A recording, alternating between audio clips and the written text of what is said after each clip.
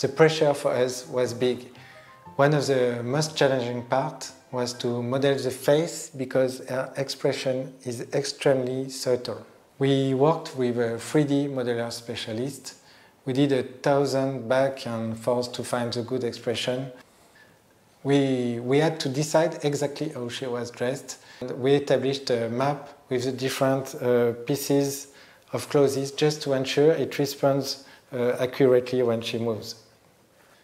Then, uh, then we had to bring Mona Lisa to life. We started to try to recreate uh, the environment around her. We worked closely with the Louvre's curator to find the best arch architectural detail in Da Vinci drawing.